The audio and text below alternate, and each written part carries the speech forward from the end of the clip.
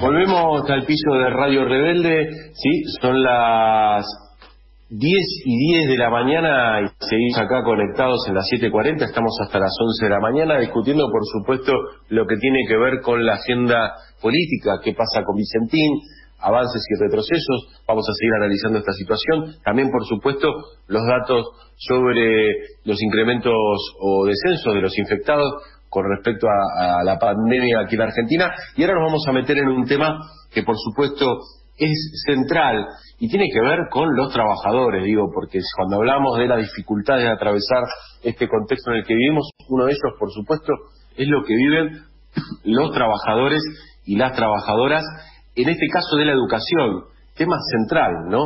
Para hablar de esto, alguien que, que, como siempre tiene un minuto para, para hablar con los medios, y poder explicar un poco, ¿no? Este apagón que hoy convocan los docentes que tienen que ver con eh, el pago de aguinaldo y me imagino otros reclamos más que ahora nos va a contar Eduardo López, docente, secretario general de la Central de los Trabajadores Argentinos, la CTA, eh, de la Ciudad de Buenos Aires y secretario gremial de CETERA y secretario general adjunto de UTE. Eh, bueno, él nos va a poder dar esta mirada particular y nacional. Eduardo, te saluda Julián Saud de Revista Martia, ¿cómo te va?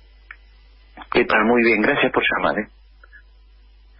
No, por favor, Eduardo. Primero quiero que nos cuentes, así casi como si no entendiéramos, porque obviamente eh, casi estamos todos monotemáticos. ¿Por qué hay un paro hoy, lunes 22 de junio, que se llama apagón virtual? ¿Y qué pasa con los aguinaldos? Te voy a decir, por docentes, amigos, amigas, incluso está confuso quién cobra y quién no cobra de esta manera.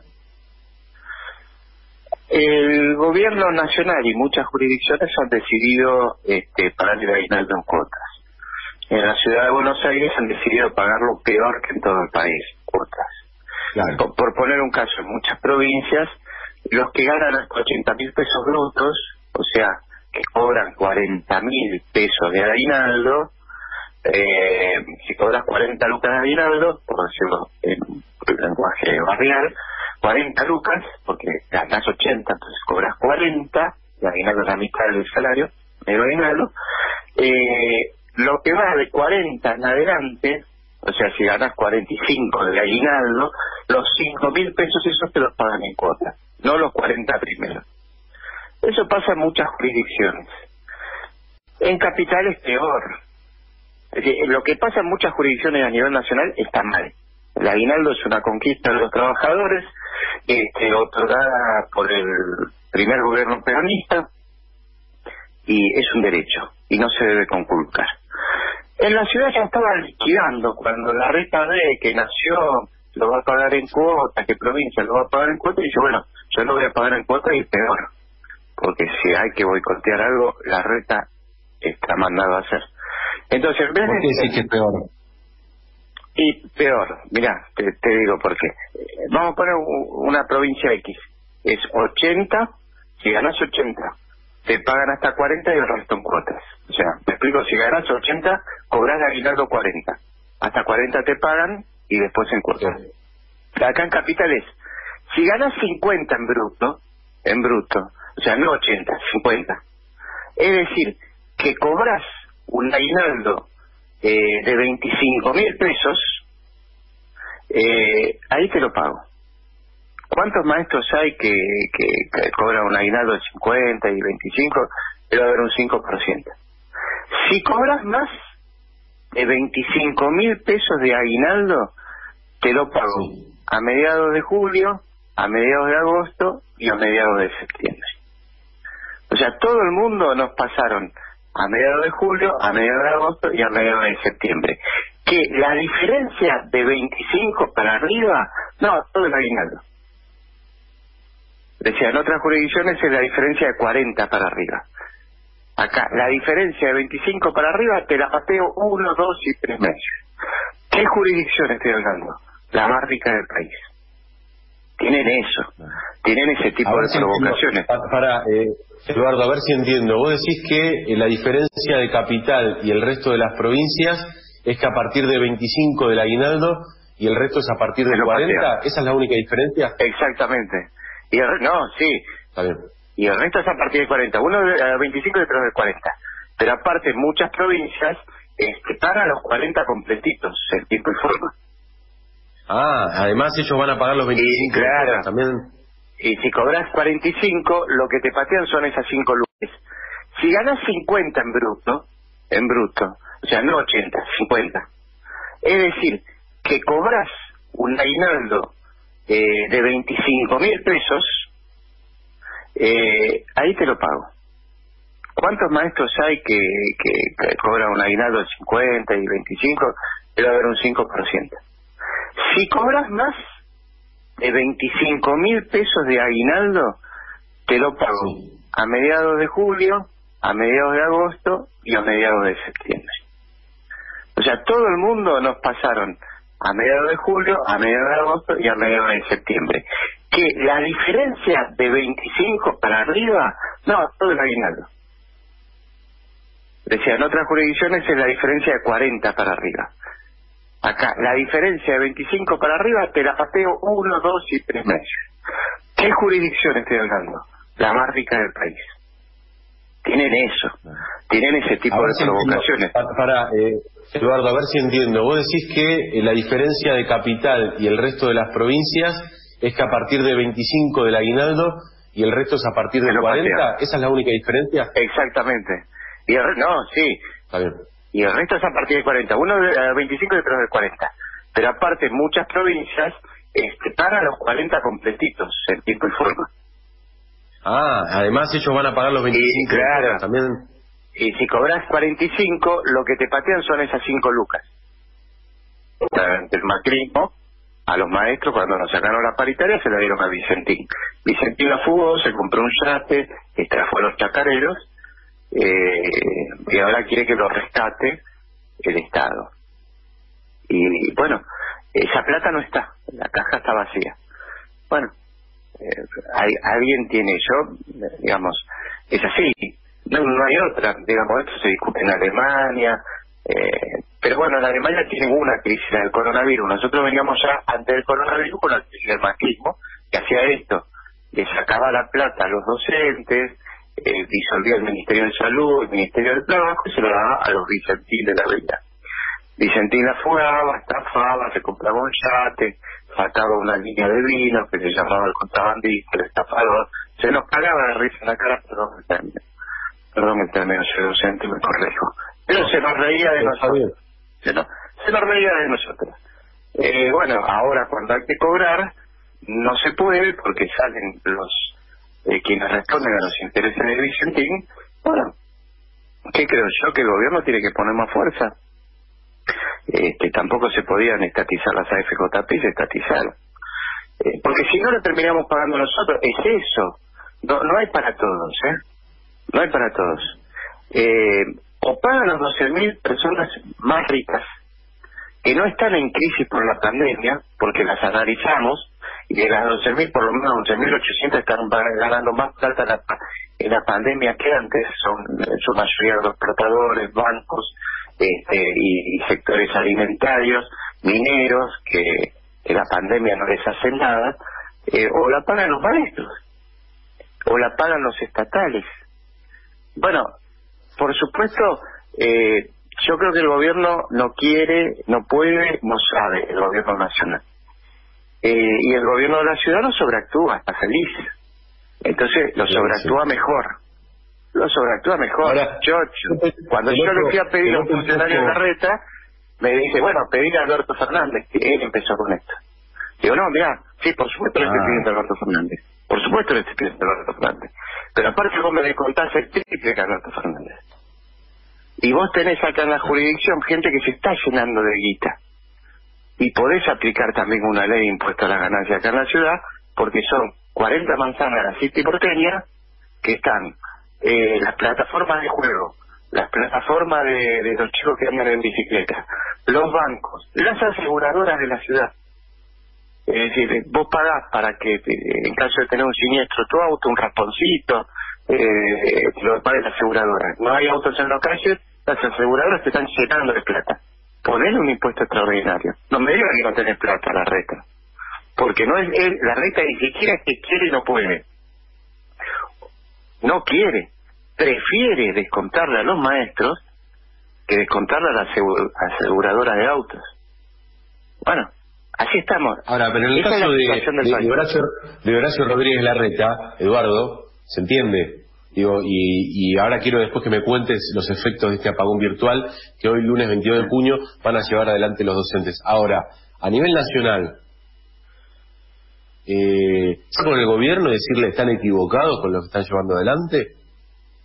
Sí, nosotros se lo dijimos como organización nacional, la CONADU se lo dijo porque nosotros tenemos, en su mayoría los docentes son de, primaria y secundaria, dependen de las provincias. Los que dependen del gobierno nacional, que también le están descontando en cuotas el aguinaldo, son los universitarios. Yo que las universidades no dependen de la reta o de que dependen de Nación. Oh. Y también los compañeros de CONADO, de CETERA, los universitarios que tenemos, estamos en contra. Y ni hablar de los compañeros de ATRE, también los manifestados. si a nivel nacional lo manifestamos muy claramente, estamos totalmente en contra de pago de aguinaldo y exigimos una ley de impuesto a las riquezas a nivel nacional. sin, duda, este mismo comportamiento... Sí, disculpen. Los, trabajadores del Estado también van a recibir aguinaldo en cuotas, no solo son los docentes. Los del Estado Nacional van a recibir el aguinaldo en cuotas. Y del Estado de la ciudad, peor, como los maestros. Peor, porque estamos con la reta. Sí. Claro. Y en ambos no es que apoyamos, no es que apoyamos a nivel nacional esto y criticamos a la reta. Criticamos los dos. La reta lo hace peor. Y, Está clarísimo. ¿Cuál fue la respuesta de las principales? Estamos hablando de que el ministro de, Educación, el señor Nicolás Trota, que, ¿quién es la, la, autoridad que, que, tiene que marcar el ministro de Educación? trabajo. Pero concretamente la decisión es, eh, que es una decisión del Ministerio de Trabajo y del Gobierno Nacional que la hace propia. Estamos en contra de esa decisión. Es decir, también se lleva adelante en otros organismos del Estado, no solo en los educativos, por eso si ustedes entran a, la página de, ATE, este, también va a haber este, manifestaciones en contra, tanto de ATE de la ciudad como ATE nacional, el compañero Castellano se manifestó de la misma manera, que, y aparte hay otro tema, al gobierno, al pagar en cuotas el gobierno nacional, lo que está diciendo también es a los empresarios privados paguen en cuota el aguinaldo. Es como ese acuerdo que firmó la CGT, de descontar a aquellos trabajadores que no están yendo al trabajo. Bueno, eso es una señal malísima que firmó el gobierno con la CGT, con las cámaras empresariales. Malísima, pésima. Ahora, bueno, yo también separo. Eh, mira, te pongo el ejemplo de la ciudad. En la ciudad a mí me deben estar escuchando muchos monotributistas ahora, muchos taqueros, muchos remiseros. Dicen, no voy a ver a los maestros, eh, pero cobran, se quejan porque el aguinaldo se lo desdoblan, pero cobran. Yo tengo que salir a agarrarme el puchero. Yo si no salgo no como. Eh, tengo la heladera vacía. Y mientras López hace un paro virtual porque, bueno, a esos compañeros, trabajadores y trabajadoras que tienen la heladera vacía y que tienen que ir el día a día, nosotros estamos pidiendo por ellos que le paguen la otra mitad del IFE, el ingreso eh, familiar eh, extraordinario. Que le paguen las ATP. Mira, vamos a la ciudad. Vos tenés un negocio en San Juan y Bueno, con tres empleados. La mitad del salario de los tres empleados te lo paga Alberto Fernández por ATP. La otra mitad, ¿te la paga la reta? No. No. La reta te dice, nada, nada laburar, sí, porque necesitas plata, yo te comprendo. No, no me comprende, la reta, pagame la otra mitad. Una mitad me la paga Alberto, pagame la otra mitad. IFE, el vendedor de cucurucho, de, no sé, el que vende pebetes y no puede salir. Eh, el, eh, los 10 mil pesos de IFE se los paga, ese vendedor vende en Constitución. Diez mil pesos se lo paga Alberto. Yo te pregunto, ¿cuánto le paga la reta? Nada. Cero. Plan detectar. A ver. Plan detectar. Vas a las villas de la ciudad. ¿Quién te hace el hisopado? Nación. ¿Cuántos hisopados hace la reta? Cero. Eh, y así puedo seguir. Alberto Fernández, vamos a la cuarentena, ¿qué hace la reta? Salgan todos a correr. Y después dice, yo me preocupo, dice la reta con cara de compungido, pagando Facebook, pagando Twitter, yo me preocupo por los monotributistas, yo me preocupo por los vendedores, yo me preocupo por los, por los comerciantes de San Juan y Bueno, dale plata si te preocupas. Eh, estamos con Eduardo López, docente, secretario general de la CTA de la Ciudad de Buenos Aires, bueno, secretario general de la CETERA y, de, y, secretario general adjunto de UTE. Pero Eduardo, acá es el punto más interesante, me parece, político-gremial. ¿Cómo se afronta esta situación? Digo, esto que vos marcás muy claramente, digo, esta agenda en términos políticos gremiales, me parece que está, no es culpa de Alberto o culpa de el ministro de Educación, Nicolás Frota, que, digamos, estará ahí donde tiene que estar por determinadas cuestiones, acuerdos, bla, bla, bla. Digo, en términos políticos gremiales, las posiciones más democráticas que vienen peleando hace años y años, ¿no estamos 25 pasos atrás?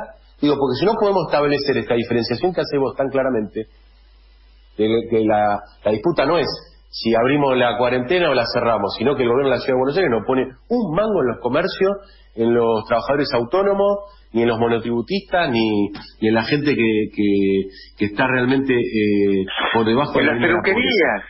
En las barberías, dice, abran las barberías, yo, no, yo los entiendo, abran las barberías, pagable. Mirá que al barbero la mitad de lo que ingreso le paga Alberto, que no tiene un mango. Bueno. Y vos hacés moines en las porque, pero Eduardo, escúchame, eh, Hugo Yasky, que es parte del mismo espacio gremial que sos vos, es diputado nacional por la provincia de Buenos Aires eh, y está hoy en el Congreso Nacional. Digo, hay elementos para pensar de que además hay perspectivas políticas. Entonces, ¿cómo se resuelve esto? ¿Quién de la oposición puede resolver, perdón, ahora, del gobierno, tiene una salida para resolver este, este reclamo? Sí, la salida es la ley de impuesto a las ganancias, perdón, de impuesto a las grandes fortunas. Esa es la salida. Ahí está la plata que falta para duplicar el IFE, para duplicar las ATP eh, y para pagar los aguinaldos en tiempo y forma. Son, mira, te lo digo porque lo estudiamos y justamente con Jack y con Heller.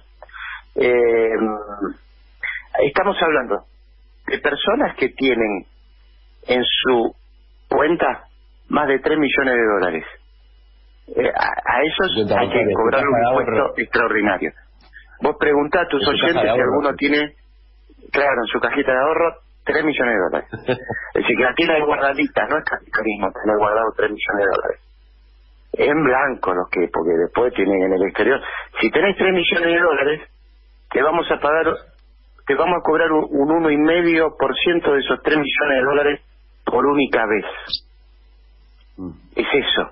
Es menos de Alemania, menos de Francia, menos de lo que hizo Franklin Delano Roosevelt, menos del el presidente el francés de la posguerra, ahora se me fue el nombre.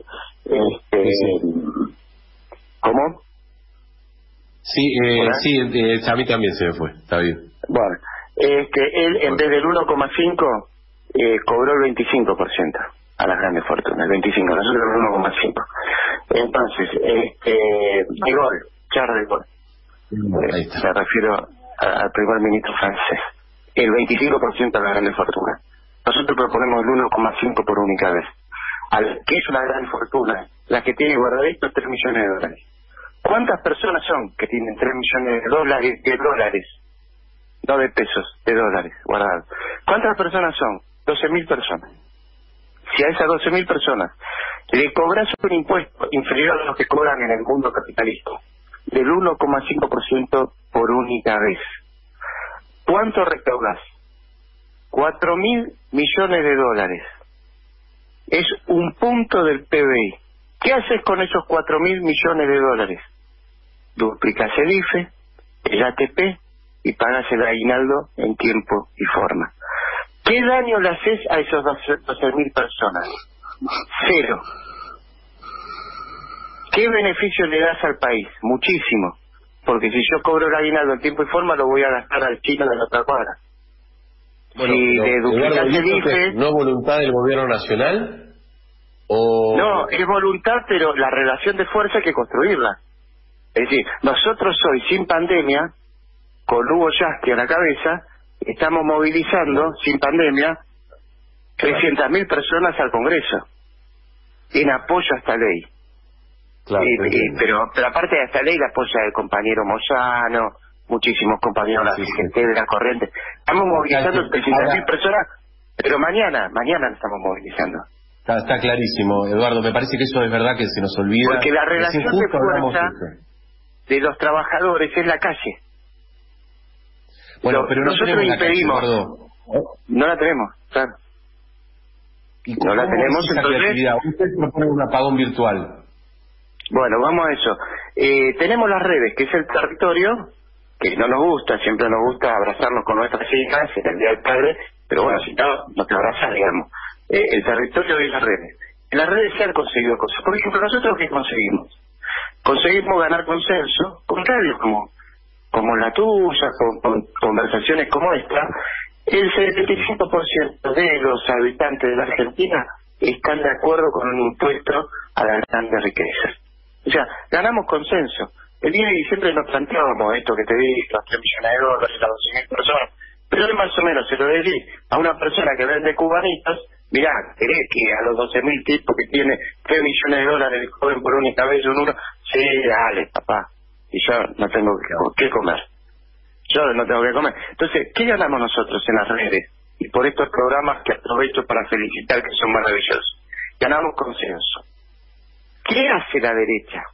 Tiene los medios masivos, tiene a los diputados y senadores que dicen se me co- desconecta la internet cuando quieren, cuando hay que votar estas cosas, eh, tienen a los jueces que van a boicotearla, y nosotros, ellos tienen a favor eso, nosotros tenemos en contra que no tenemos la calle, porque con una marcha ya sale la ley, ¿eh? esta semana. Es decir, juntamos 500.000 personas, vos nos conocés y nosotros los conocemos ustedes de marcha. Y, No, eh, sabemos que la movemos inmediatamente a través de esto y viene el estatal y el que vende cubanitos y el tachero y el que tiene la heladera vacía y tiene que salir a la calle poniendo en riesgo su salud para llenar la heladera. Vamos todos. Y los que tiemblan son los 12.000 tipos que tienen 3 millones de dólares guardados y sin pagar impuestos. Pero bueno, Totalmente. no tenemos la calle, vamos ganando consenso. Esta conversación a mí me sirve, hay que reproducirla, hay que ganar consenso, eh, hay que intentar que salga ahora, porque si no, no se van a pagar los salarios. Y si no sale ahora, bueno, a la primera que podamos salir, vamos todo al Congreso a bancar el proyecto de ley que están impulsando Heller, Máximo este, y Yasky. Bueno, en concreto, hoy tiene un apagón, a nosotros también nos sirve, te quiero decir, este debate, lo estamos teniendo desde temprano, digo, es muy fácil decirle a Alberto no se anima, digo, no, no se trata solo de eso, hay un montón de No, elementos claro. que están, no, no, pues sería reduccionista, digo, y aparte el, el- es el discurso de Clarín, ¿no? Eh, Alberto se comió los mocos, digo, así hablando eh, en latín. Digo, esos quieren quieren construir, me parece que no no. Ahora, desde el lado de la perspectiva de los movimientos populares, ustedes llevan adelante un apagón virtual. ¿Qué efectos tiene en términos gremiales esto, Eduardo? Bueno, mira, Vale. es así. Realmente. Y, y ahí aprovecho para aclarar lo de trabajadores esenciales. Los docentes somos trabajadores esenciales en lo que respecta a garantizar la apertura de los comedores escolares. Y somos trabajadores a distancia eh, en lo que respecta a dar clases. Es decir, estamos dando clases, se ven en las redes. Bueno, cualquiera que tiene un hijo sabe que... bueno, entonces, eh, hay clases virtuales en la casa y aparte, una vez cada 15 días en la ciudad, presencialmente los maestros garantizan la apertura de los comedores. ¿En qué consiste la medida de fuerza de... eh, la, la apertura de los comedores porque somos trabajadores esenciales, dicen trabajadores esenciales, hablan de los enfermeros, de los camioneros, de los que llevan este, el crédito bancario, y pone, y eh, de los trabajadores que garantizan los comedores escolares. En esa parte también nos toca a nosotros. Entonces, somos esenciales para eso, y para lo otro lo hacemos a distancia, la educación. El paro de hoy es en la parte de la distancia. Justamente buscamos un día que no hay que garantizar los comedores escolares. Eh, los comedores escolares que son cada 15 días se garantizan mañana, pasado y traspasado, para no perjudicar el tema de las canastas alimentarias y los bolsones alimentarios de nuestros alumnos. Hoy no hay comedores escolares. Hoy diga el paro virtual. El paro virtual es desconectar la compu. Los maestros estamos todo el tiempo en la computadora dando clases, corrigiendo y mucho más tiempo este, llevando adelante pedidos de este, las autoridades, de los gobiernos, respecto de listados de chicos, qué cantidad de estudios se hacer, cuántas tareas te dieron, cuántos están conectados, cuántos no, etcétera, etcétera. Eso hoy no lo hacemos. Hoy dejamos de enseñar de manera virtual. Ya lo hablamos con nuestros alumnos la semana pasada y ellos están totalmente de acuerdo y apoyan esta medida y aparte mañana vamos a estar junto con ellos también de manera virtual reclamando que, que la reta cumpla con la ley y le garantice computadoras a todos los chicos y a los maestros y conectividad hay un fallo en la ciudad que dice eso del juez Gallardo y que la reta apeló. En fin, ¿qué decimos nosotros? Eh, cuando no hay educación presencial, seguimos educando a distancia en contexto de pandemia. Eh, cuando no hay respuesta salarial, hacemos un paro virtual. Mañana seguimos educando y reclamando para que la brecha digital no sea una brecha educativa, porque yo doy clases de geografía en Solati. Y cuando doy clases tengo 30 alumnos que me escuchan, tengan computadora o no en su casa. Pero cuando doy clase virtual, no tengo 30 alumnos que me escuchan, tengo solo cinco alumnos que me escuchan porque 25 restantes no tienen computadora, no tienen conexión. Entonces, la brecha digital es brecha educativa. Para eso estamos pidiendo, hicimos una multisectorial y pidiendo que la reta cumpla con la ley, ponga antenas y dé wifi gratis para los pibes, para los docentes. Eso estamos todo el tiempo. Pero ahora, como no nos pagó el salario, hacemos este paro virtual. Nos hubiese gustado mucho más hacer un paro, una movilización eh, activa, pero no vamos a ser funcionales al arretismo, enfermarnos todos, ocupar cama, los socialistas doblemente contentos. No nos paga el aguinaldo y nos enfermamos todos. Hay que ser inteligentes, hay que pelear con las herramientas que tenemos, hay que acumular fuerza para que este, siempre avancemos en los derechos de los trabajadores y nunca el beneficio de, los mismos. Eduardo, muchas gracias por, estos minutos. y, nunca en beneficio de, digamos, de los sectores dominantes que quieren conservar sus derechos. Seguramente esta, esta discusión vamos a seguir dándola por otros carriles, pero me parece central. ¿eh? Los desafíos del movimiento popular que no puede salir a la calle, pero que no puede dejar congelados tampoco sus reclamos. Un abrazo enorme, Eduardo. Otro para vos. Era Eduardo López, docente, secretario general de la CTA, bueno, un hombre todoterreno, docente también, concretamente lo escuchamos, profesor de geografía. Y este debate, ¿no?, que venimos dando de la mañana con respecto a Vicentín, es la calle, la calle la que falta, la calle la que hoy permitiría estar en Congreso reclamando con 300.000, 400.000 personas por el impuesto a la riqueza y, por qué no, la intervención y la estatización de la empresa Vicentín. Todo eso hoy, el movimiento popular está, está ajeno, porque el terreno que cual él conoce no se puede volver por una cuestión de responsabilidad. Bueno, ¿qué desafíos tiene hoy el movimiento popular? Lo acabamos de escuchar a Eduardo López y eh, este apagón, ¿no? Que hoy los docentes llevan adelante, apagón virtual por el cobro del aguinaldo en tiempo y forma.